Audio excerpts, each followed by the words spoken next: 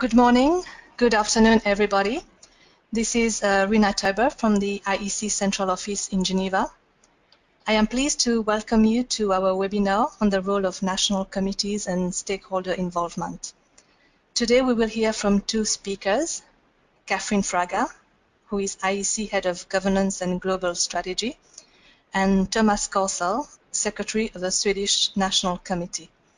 Katharine will talk about the responsibilities of national committees, as well as the basic structure and role of an NC.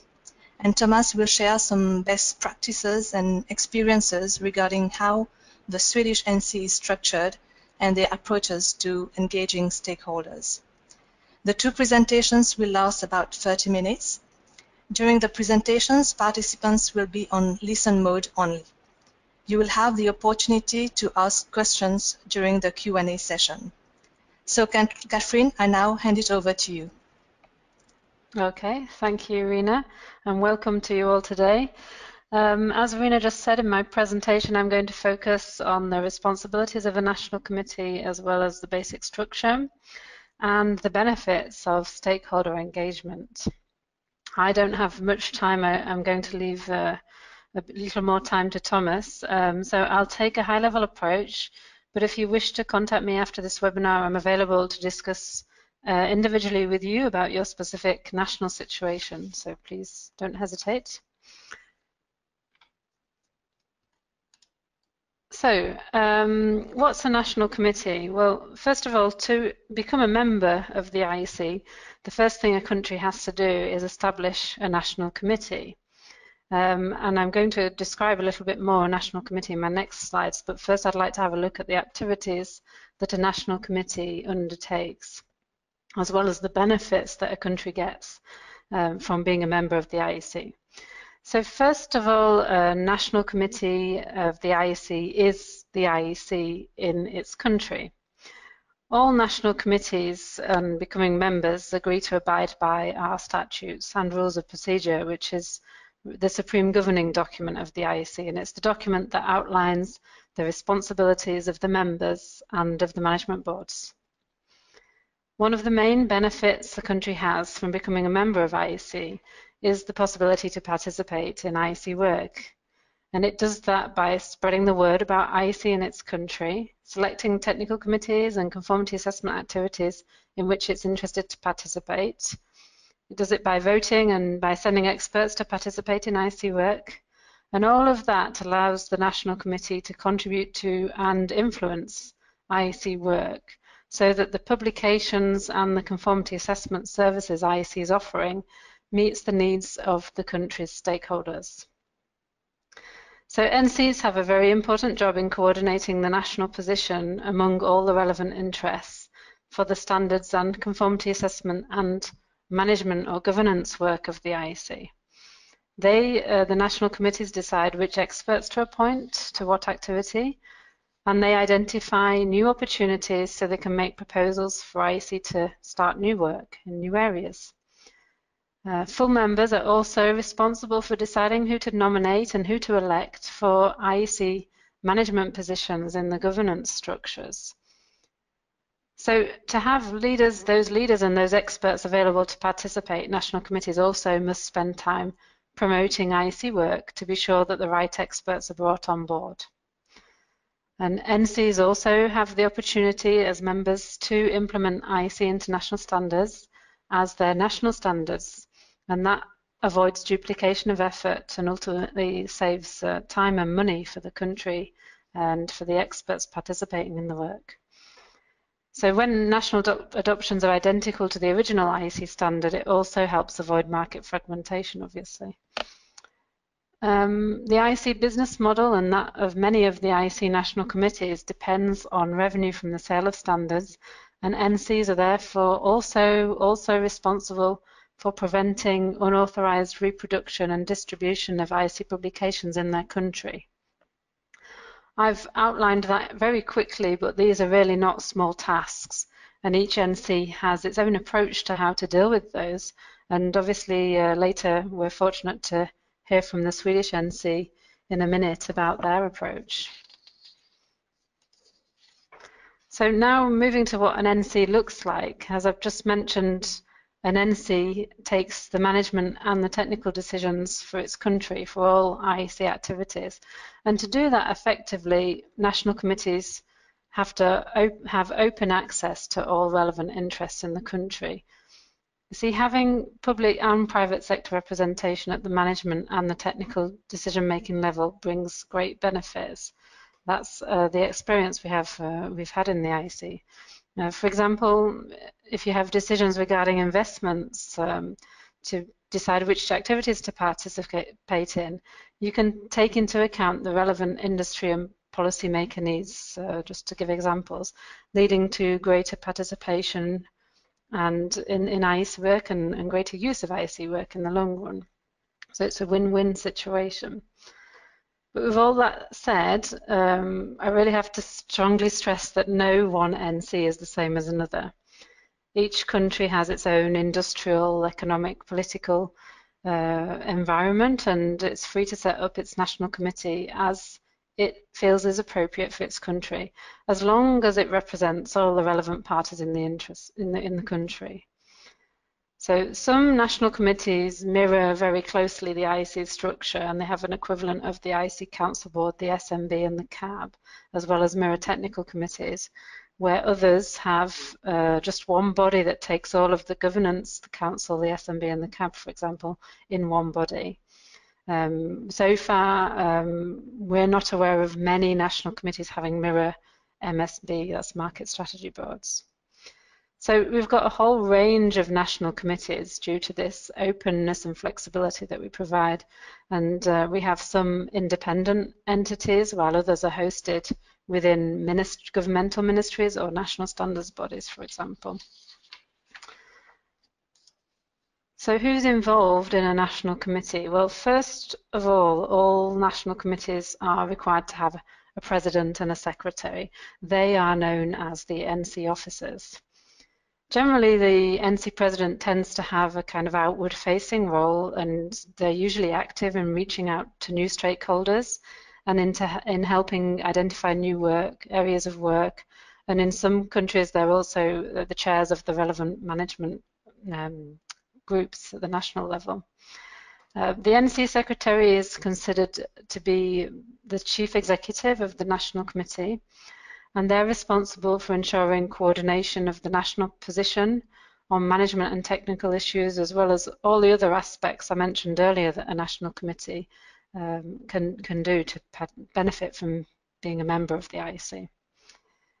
We've noticed a correlation between those NCs that have at least one of the two NC officer positions coming from industry um, and the level of participation of, in IEC work. So those NCs that have an NC officer from industry tend to be more active in IEC work. That's why we we strongly recommend to all national committees that they appoint um, a president or a secretary coming from industry if they can.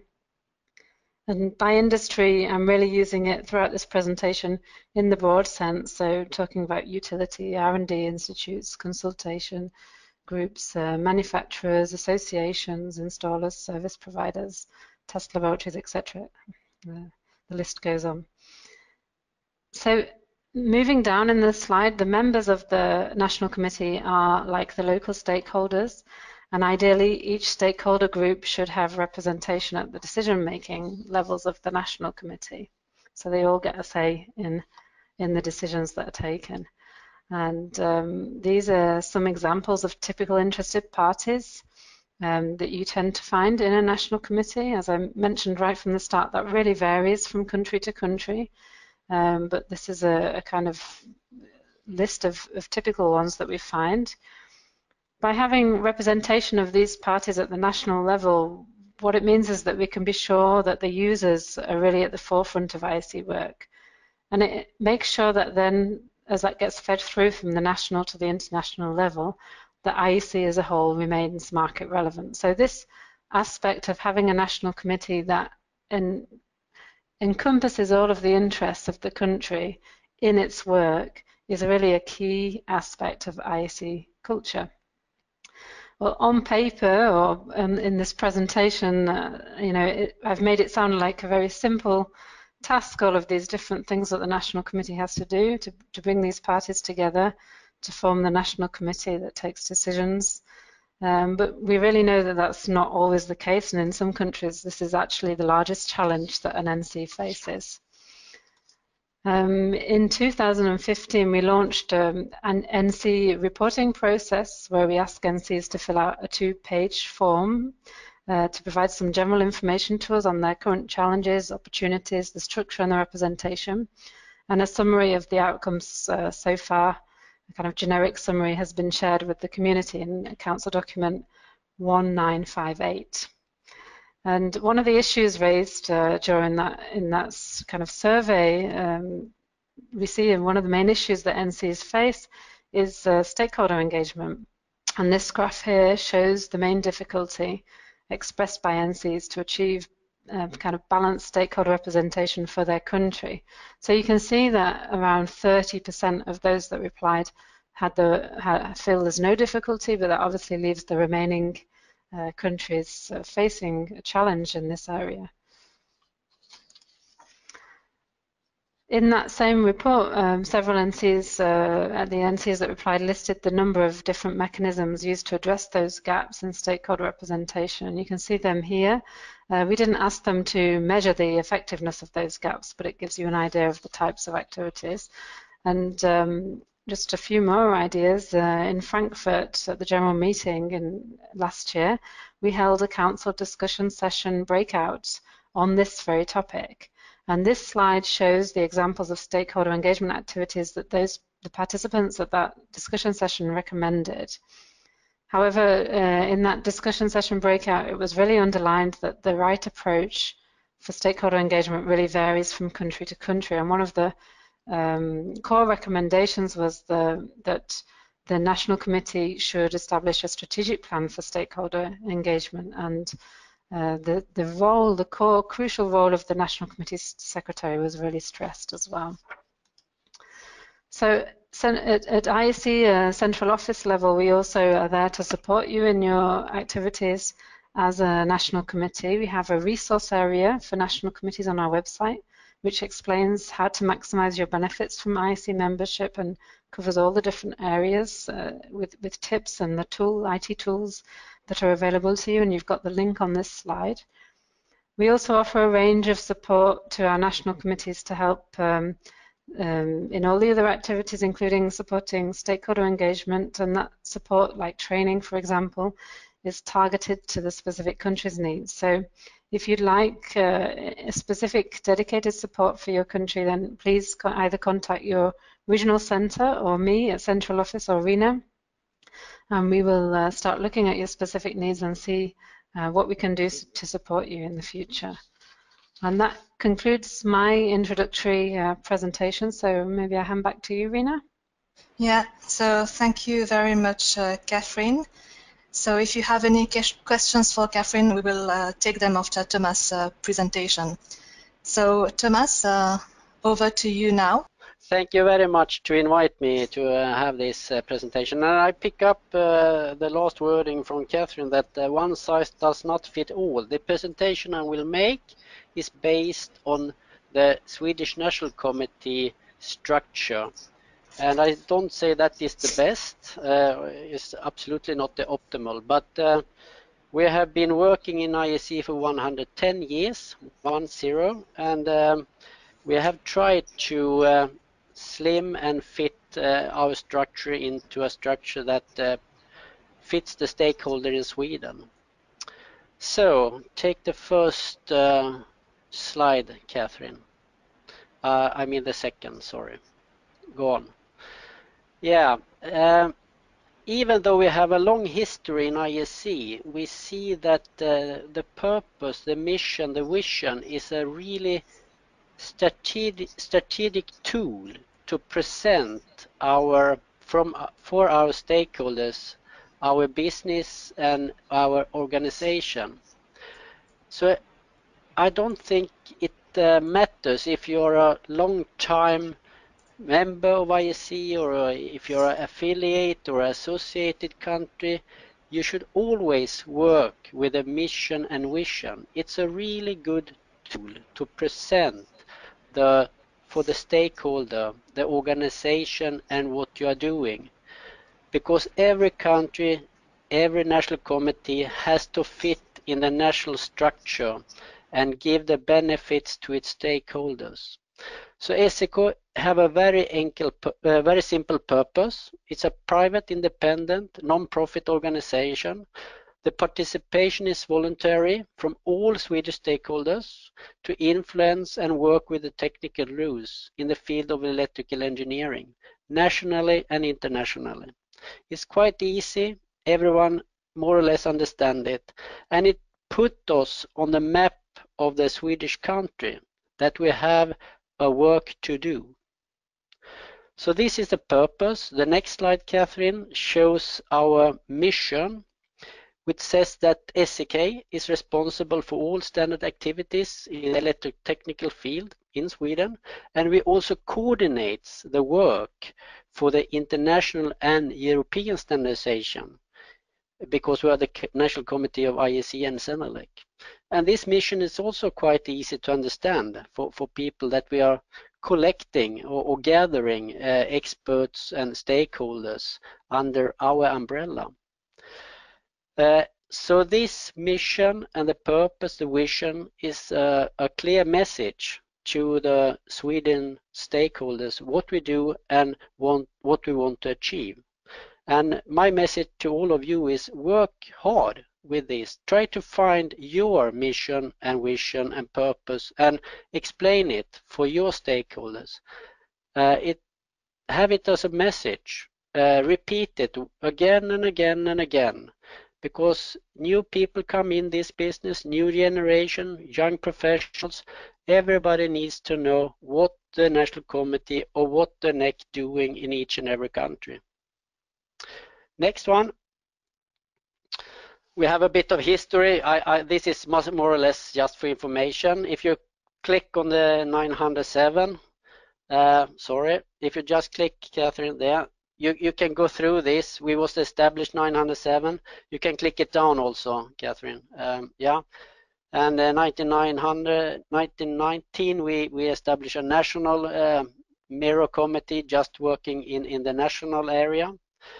Uh, so we had two organizations up to 1937 uh, when we merged them to become what we are today, the SEK, the Swedish Electrical Commission. Uh, 73 we come also became also responsible for the European standardization in Sweden, so to say. We became a member of CENELEC. And 2000, it was a huge reorganization of the standardization made in Sweden, and we end up in three formal uh, standardization organization, which responds on global level to IEC, ISO, and ITU. And 2007, we uh, celebrate 100 year, and we also changed the name to more identify us what we do. We don't want to call this a commission. We, we start to call a Swedish EL standard.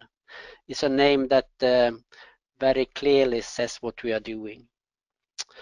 Uh, if we go further on to next slide, the national structure is uh, that we have three organizations responding to ITS responds to ITU, SEK responds to IEC, and SIS responds to ISO.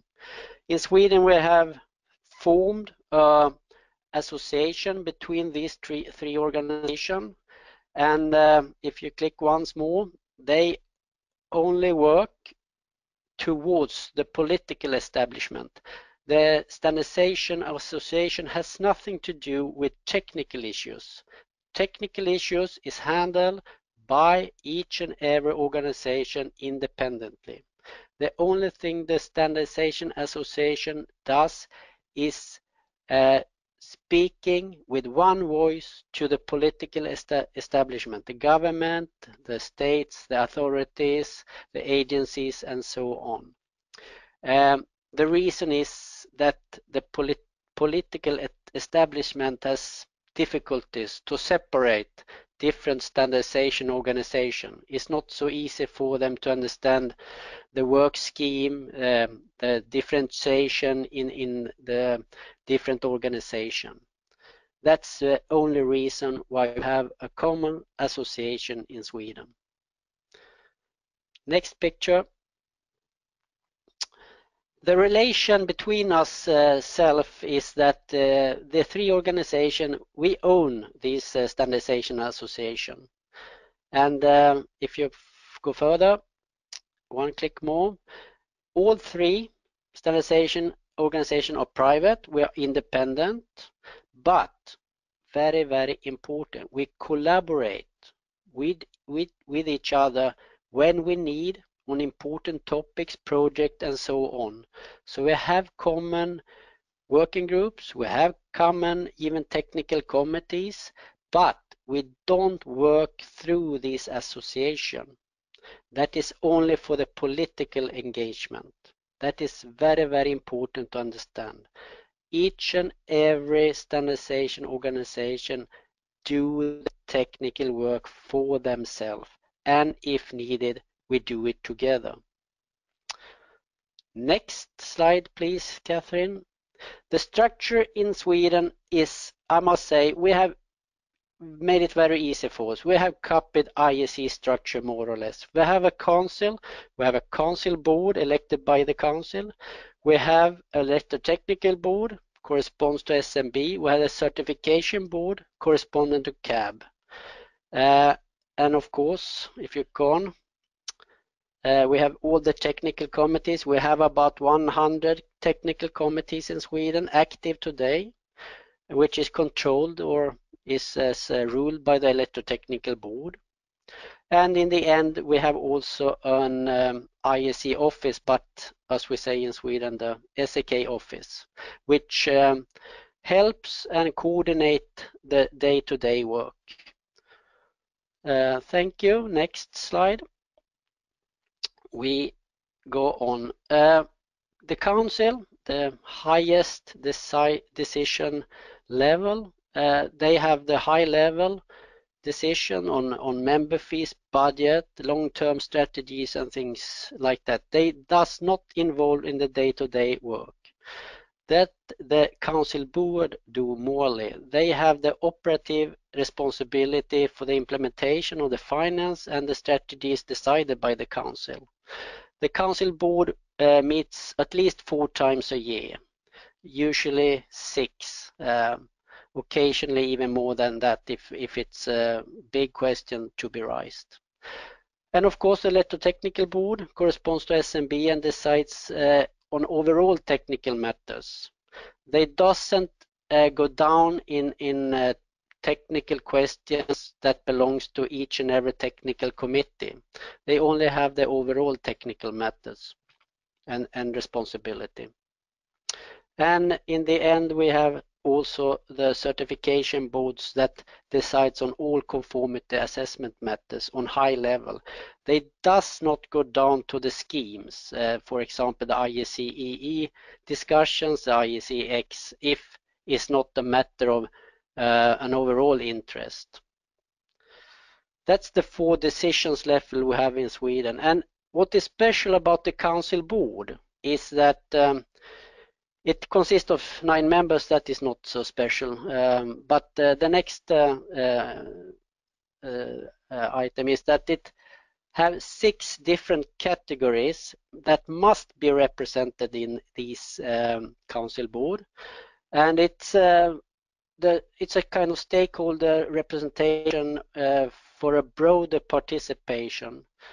The first one is the producer of electrical or electrotechnical components, products or equipment.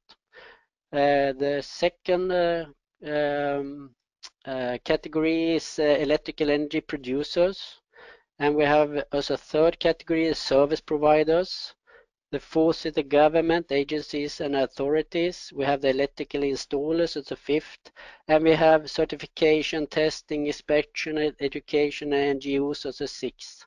And all of these categories must be represented. in. So six person out of nine, uh, all nine, but six person has to be picked at least from one of these. So the board must consist of six members, at least. Of course, some can be doubled, coming two from one of these categories. This uh, enforce that we have a broad participation, a broad decision-making board. That's the reason and that's why we want to have these categories and classification of different stakeholders. This is, is in our statutes and it must be fulfilled to have a working uh, council board. Thank you. Next.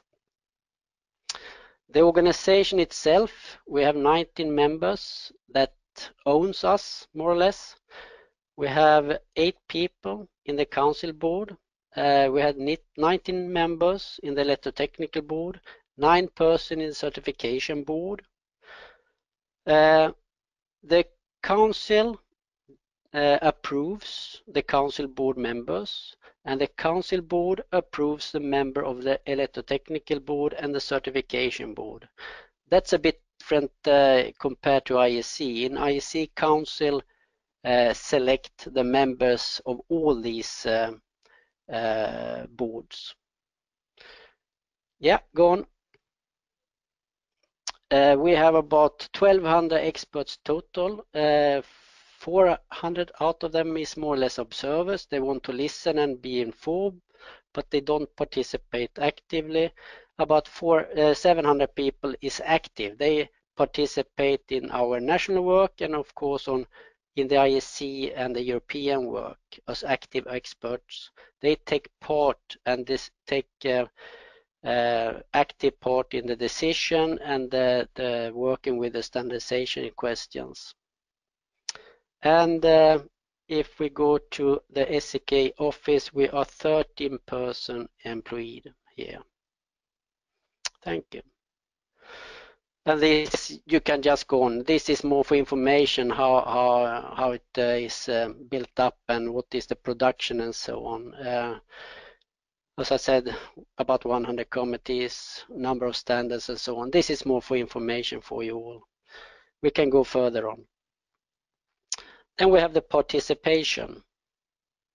So first we call it the business case. Um, that is more uh, towards the management of stakeholders um, that we want to involve the people, the decisions makers, the people that uh, decides on uh, stakeholder representation and, and, participation in the standardization. Uh, I don't say this is an easy task. This is very, very difficult to reach out to these type of people and to have them understand that standardization is a very important part of their work. Um, Usually these people more see to the economical benefits and we have learned the hard way that you need to talk to these people about the economical benefits about standardization.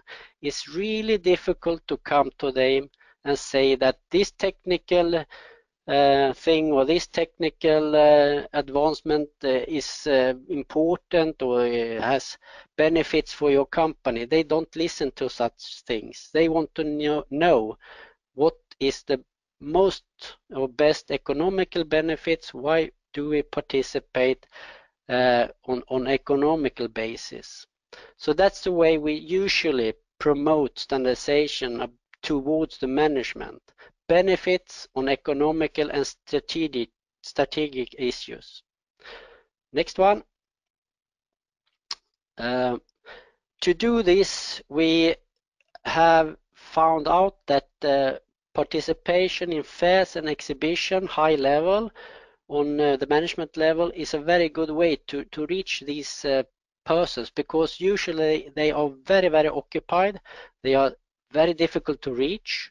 But in fairs and exhibition, they come and they are more relaxed and they want to see what what the future will bring in for their company or, or business. And usually uh, we can reach them in a much better way in the fairs and the exhibition. in a more relaxed way to get them around the table and talk to them. So that it is a it is a tip for, for you if you have that possibility. We usually try to arrange breakfast meetings. I don't say it's uh, a success, but uh, sometimes it shows up uh, people that we want to reach, uh, usually on these hot topics that are very important uh, for the moment, so, so to say, uh, change in, in business culture and things like that. it's a way, but not the best way, maybe. And of course, we use social media, emails, net newsletters, and things like that that's more of a standardization way to try to reach uh, people and, and to reach the management. And maybe the best way is try to engage the experts that you have in the standardization technical work to be the ambassador for you to talk inside their own companies to spread information about the standardization and the good what the standardization can do for the company. This uh, engagement of experts, uh, on the other hand, needs that they are educated in what and how they should talk to the management and their bosses uh, to be a good ambassador because just talking is not good. You should say the right words. Usually, as I said, they listen on economical terms and I will, in the end of the presentation, go come back to this about, um, we have some courses and things about this. So the next slide, please. Then we come down to the expert that really do the work. Um, and we try always to do a promotion to all experts in uh, Sweden that they should partic participate in, of course, the, the national committees, but through us, through SECO, be a, be a participator in the IEC work because it's where it happens, where you can really and strongly affect the work and be a part of it. We always try to find experts, both old and new technical uh, young professionals. Um, it's a huge work. It's not so easy. It uh, requires a lot of uh, effort, energy, and time. Um, but we try to do it in many, many different ways. But one way of do it and one way to get the stakeholders on the decision level more interested is that we have what we call a travel grant for head of delegation. They get a little money to represent Sweden on plenary, plenary, plenary meetings. And we have also travel grants for chairs, secretary, conveners, and project, project leaders in IEC work.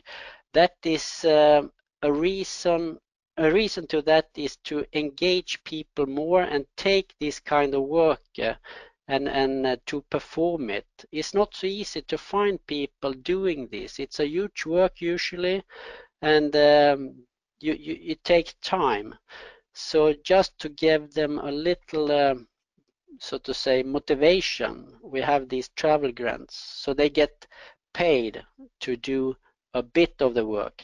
I don't say all. It's it's a small grant, but it shows that we have a positive uh, way of seeing on these type of works and it usually also helps them to motivate for their bosses or people inside uh, their own company to, to take on such kind of work.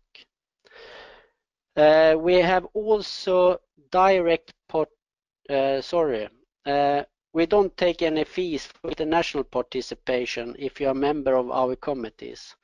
Uh, the member fee for being a member of a SEK committee is about 4 to 800 euro and annually.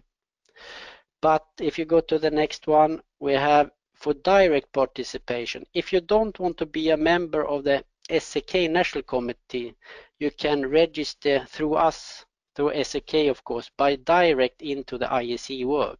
If you want to be a member of a working group, a maintenance team, a project team, or, or whatever. And we take out a, a, a fee, uh, 200 euro for each participation in such working group. And um, that has uh, been used uh, very, very, or it the number of experts have increased uh, quite drastically the last four five years for this direct participation. It's very much appreciated by our stakeholders. Um, and we have also uh, representatives for some of our stakeholders that we don't take out any fee for is a non-profit environmental and consumer organization and people that are hired at college and universities, teachers and professors and so on. They participate without charge in, in standardization in SEK. So then we go to the committees. Uh, we have some rules in Sweden. We want each and every technical committee to have at least one meeting per year, face to face, or you can't or you can can participate per distance. But uh, we try to get them together. Uh, it's um, we usually think it's very fruitful to have face-to-face -face meeting to learn to know each other and to discuss um, problems over some coffee, lunches and so on. We have seen that that is truly more fruitful than only have distance meetings. Uh, to make the work easy for all, our experts, we have granted access for them to have copies of all standards. They are used for, of course, personal use. They are watermarked uh, with the address and name. And uh, they have access to all standards in their responsibility areas. Usually it is a mirroring of the IEC committees. Sometimes we have one or two committees, uh, sometimes we have uh, three or four committees, uh, which one Swedish committee is responsible for. It depends on the area and the interest of work in, from the stakeholders in Sweden. And at each and every meeting, we try to encourage them to see on new work items to find out what will be the future, what will be the new technologies, are there any items that are not covered in IEC? We try to encourage new work items. It's not easy. It takes a lot of time and effort, and uh, we want strongly that to be increased in Sweden. And uh, usually we talk a lot about um, horizontal aspects and horizontal activities. And in the last five years, to encourage such activities, we have invited to the SEK office two or more committees in nearby technical areas to come and to um, exchange information, give presentation to each other, to highlight common issues or to get discussion that are fruitful for more than one committee, so to say. We think that more people involved in problems and challenges, the better res, uh, results we get in the end. This has been very welcomed by, by many experts that they know the word outside their own committee. So we will for sure continue these activities in the future. Yeah, we go on. One thing that we have uh, seen in our committee work is that it's difficult to have a lot of people involved in the communication to the SEK office when we're talking about, for example, voting or uh, making comments to documents. What we have in in Sweden, we have one designated person that uh, controls and do all the communication with the SEK office. He or she communicate all information about voting, about comments, um, information or whatever. And vice versa, SEK office can contact these those persons in all kind of matters that are connected to this technical committee and it's his or her responsibility to spread information within the committee. And as a gratification, this contact person for the work he does is uh, don't have to pay any member fee. It's a small kind of gratification, but it works. Um, most of the contact person are happy with this kind of um, work uh, and the small payment they got for it. Uh, yeah, and we have also uh, a rule that uh, says that all votings and comment must be distributed in the beginning of the work, uh, in the beginning of the week when we have the deadline for, for that uh, comment or voting for the document.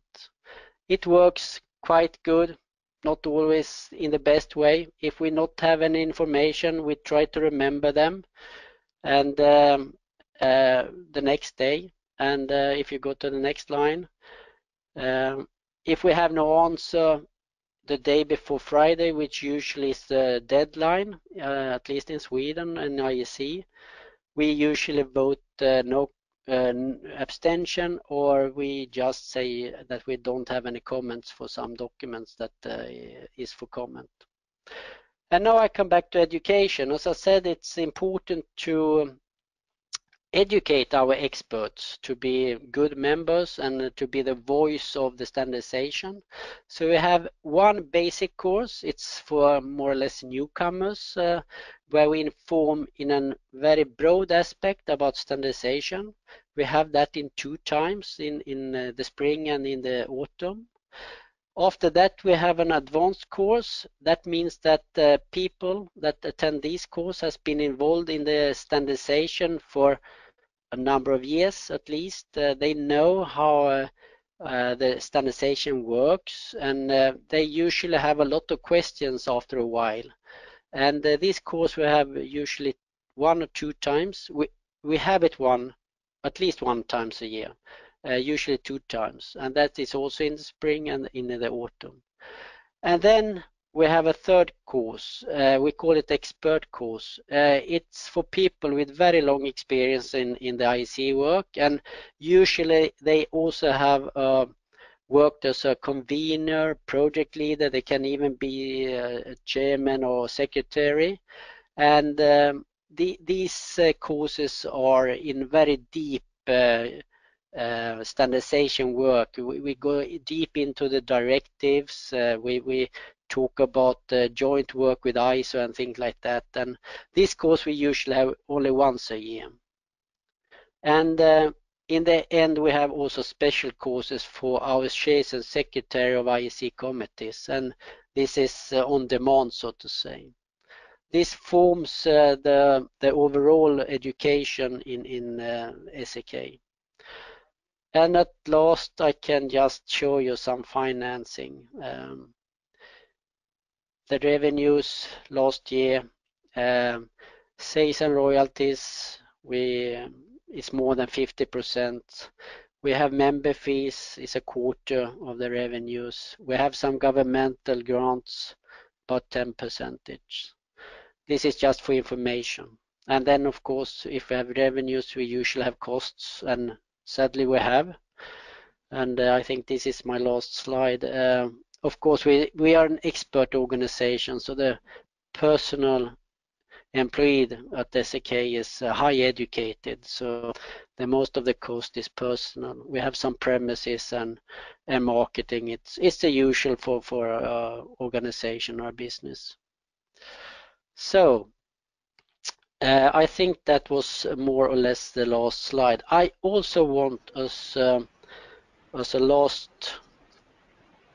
um, things say that Sweden are involved in the affiliate uh, mentoring program. And Sweden have a mentoring program with Bhutan. And uh, for those who listen, uh, it doesn't matter if you're on the affiliate side or the member side.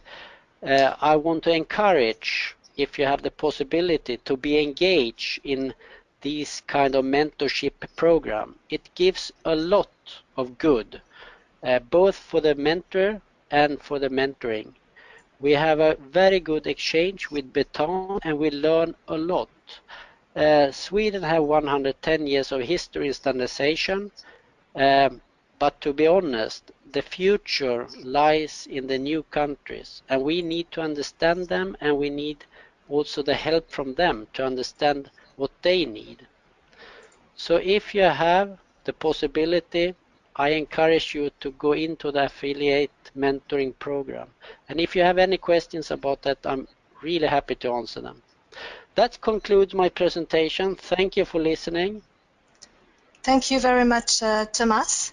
So now the floor is open to the participants. If you have a question or a comment, you can either use the chat function or click on the hand raising button which you will find in the control panel on the left. So we already have uh, one question from Mr. Masmoudi, who is the NC Secretary of Tunisia, and that's for Katharine. Uh, so the question is uh, how to, what are your suggestions uh, to deal uh, with the lack of involvement of stakeholders? Can you unmute yourself, Katharine? Yeah. Yes. Yeah. Okay, uh, that's that's an excellent question, and I think it, the the answer is unfortunately uh, not a simple one for me. So you've given me a, a tough challenge here.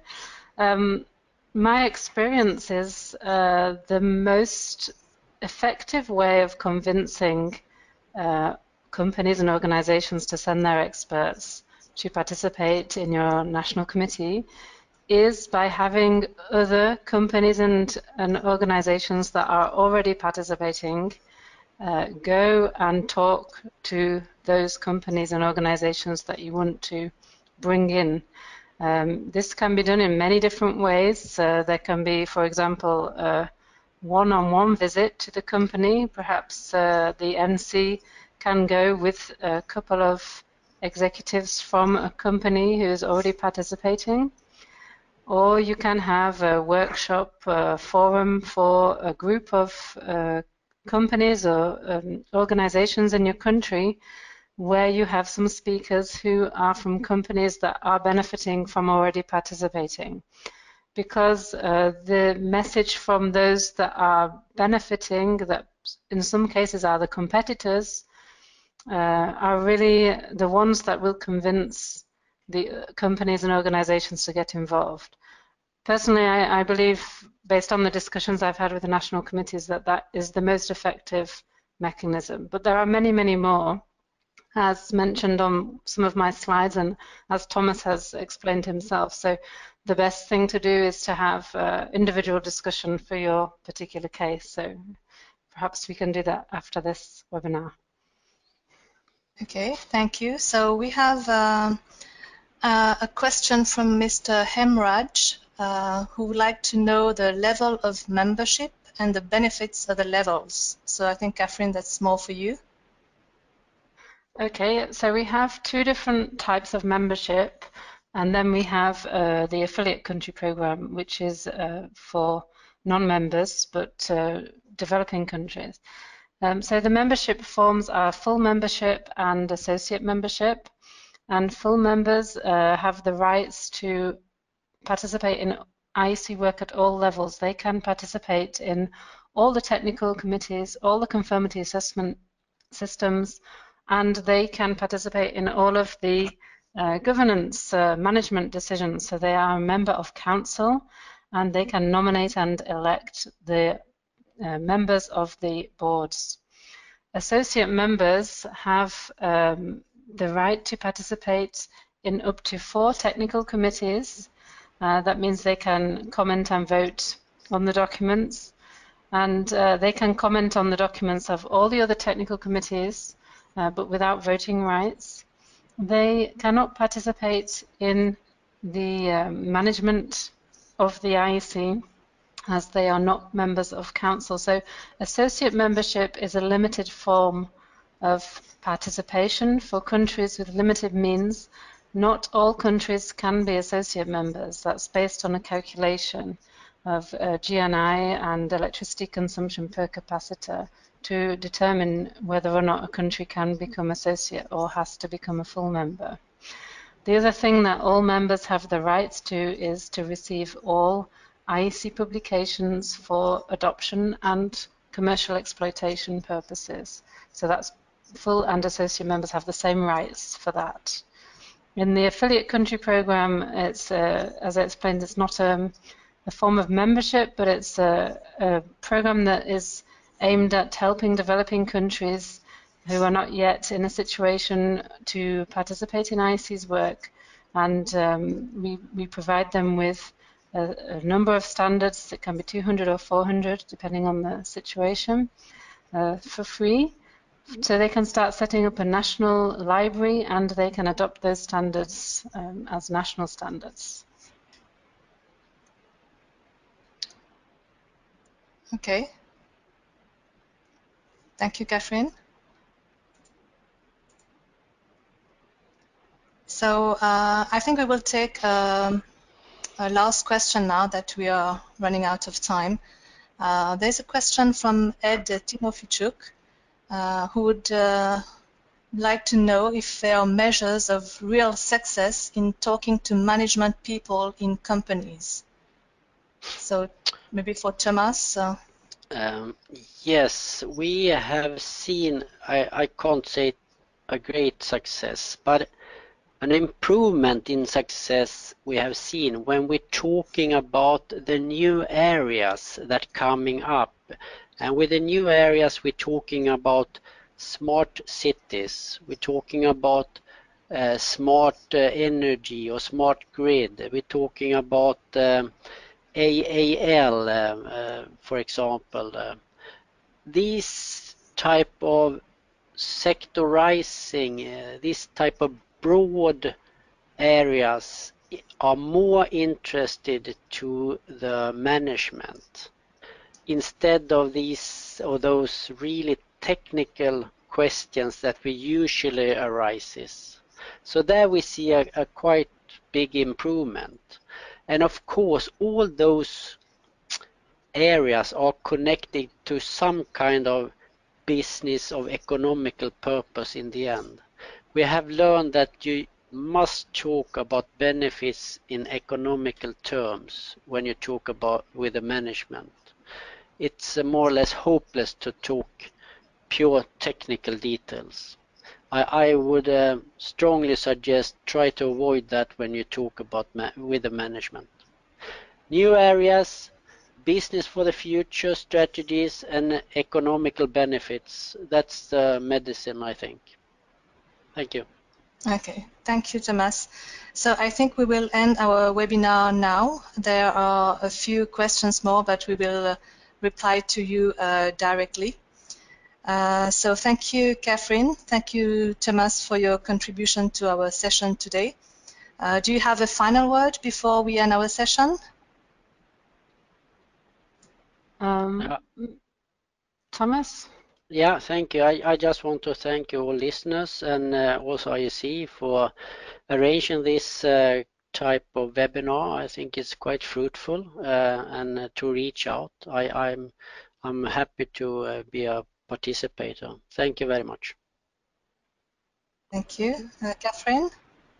Um, I just uh, would like to say that I think one of the core things to bear in mind is that the main benefit from being a member of IEC is really that, that you can get involved in IEC work. So when you um, want to advance your national committee, the most important thing is to prepare a plan of participation, and that's the way that your country's stakeholders are really going to benefit from IEC membership.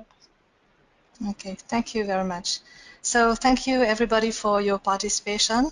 For your information, the webinar has been recorded and we will share the link as well as the presentation with all the participants. So thank you again and goodbye. Thank you. Bye.